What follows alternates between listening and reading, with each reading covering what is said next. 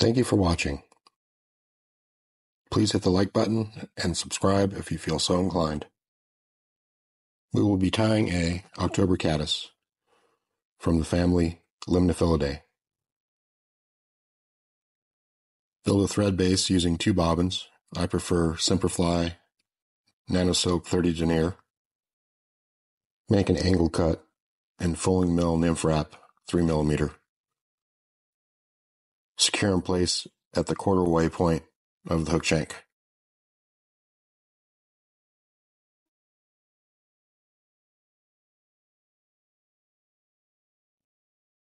Make three wraps and secure in place just behind the eye. The Limnephilidae represent a diverse family of aquatic insects within the order Trichoptera, which translates to hairy winged. They are one of the most species rich Trichoptera families of the northern temperate regions.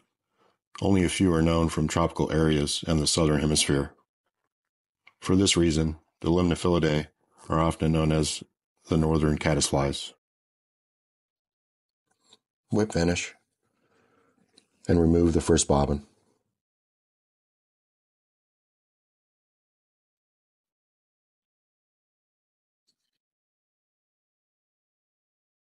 Now advance your rear bobbin forward, wrapping into the first segment using the rear edge of the middle segment.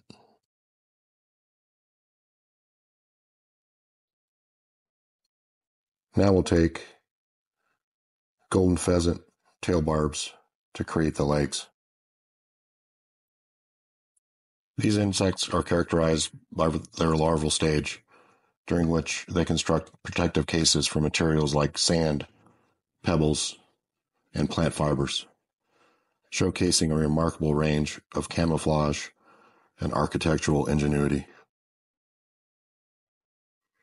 Cut the excess of the first set of legs. Trim the ends if needed.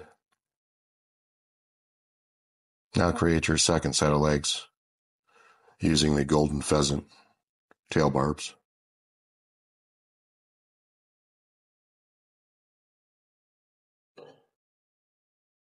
These barbs are plucked from the stem, and the follicle is the end point of each leg.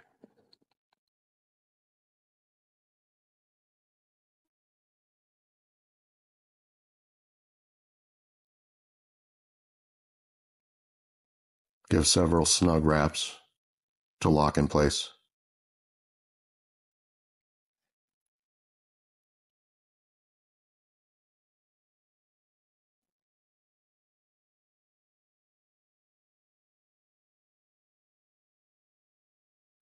Cut the excess and create the four legs using the golden pheasant tail barbs. Limnephilidae are found predominantly in freshwater environments, such as streams and rivers. They play a crucial role in aquatic ecosystems by contributing to the breakdown of organic matter and serving as a food source for various predators. Their presence is often an indicator of water quality, with certain species being sensitive to pollution. As adults, these caddisflies emerge to mate and lay eggs completing their life cycle and perpetuating the ecological balance of their habitats.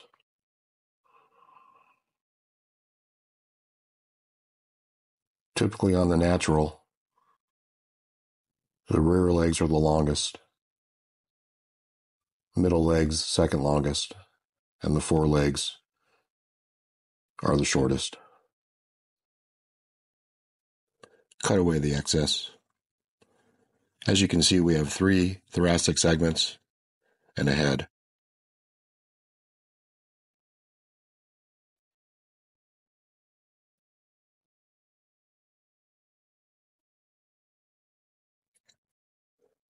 Whip finish. And cut away the bobbin. Now to create the dark head and the dorsum we use a Copic marker in brown.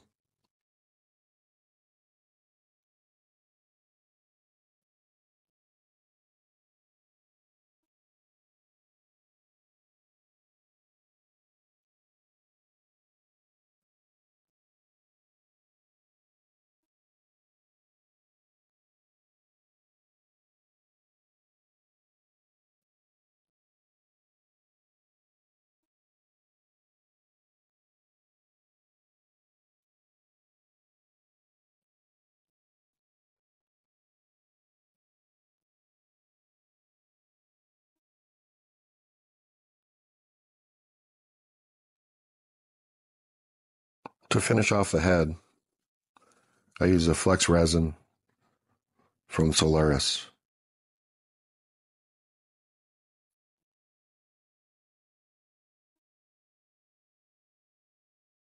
This cleans the head and gives more durability.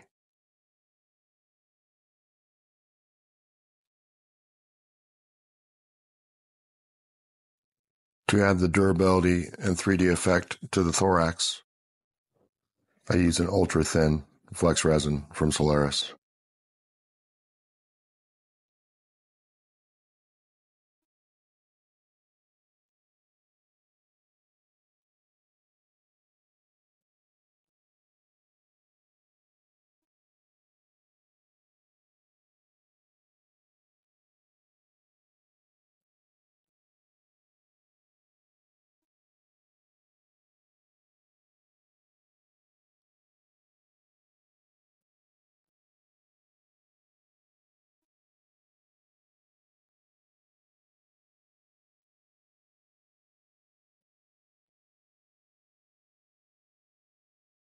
To create the base for the case, I use a silicone sealant. This particular one is from Silco.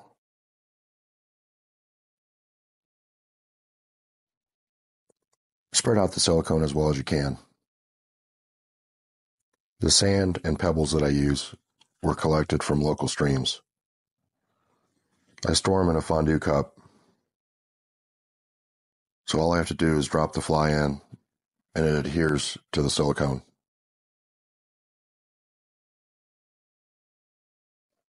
Now to get your desired effect.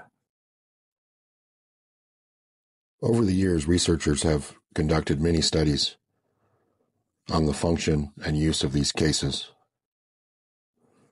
The research revealed nuanced benefits of the extensions for these caddisflies.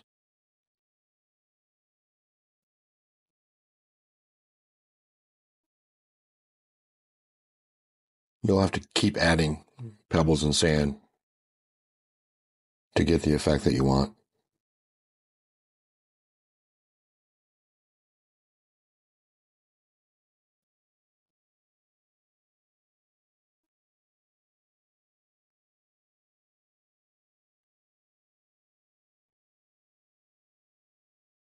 Next, we'll add the extensions. These pieces of plant matter were also collected from local streams. Use the same silicone sealant to adhere the plant matter to the fly. These extensions have many benefits. Researchers found that it gave them stabilization in high flow areas. The caddisflies with extensions rolled over less frequently and recovered their footing more quickly than those without the extensions.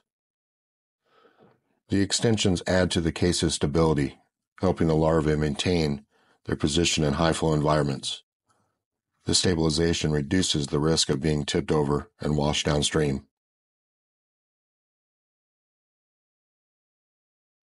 They also found there was no significant difference in predation rates between larvae with or without extensions. Therefore, the primary role of the extension is not to deter predators, but to enhance stability. The added width and weight make the larvae more resistant to being tipped over by water currents, allowing them to explore and forage in areas with stronger flow than would be otherwise possible. I'm using a heated tweezer to create bend in the legs. The fish don't care, but I do. The extensions in these cases are a clear example of how organisms can adapt to their physical traits to better fit their ecological niches. In this case, the adaptation allows the caddisflies to exploit a larger portion of their habitat, which can be crucial in environments where resources are limited. The studies not only shed light on specific adaptations of case caddis, but also demonstrate the broader principle of how seemingly small modifications in behavior or morphology can have significant ecological and evolutionary consequences. It's indeed pretty darn cool how these tiny adaptations can impact the survival and distribution of an organism and its environment. So we're making the final touches on the outer part of the case. Again, not necessary but my OCD kicked in.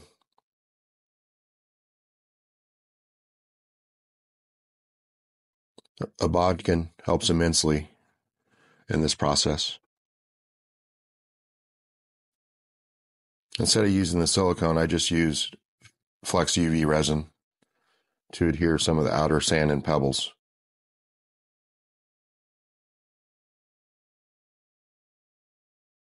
Again, please subscribe and thank you for watching.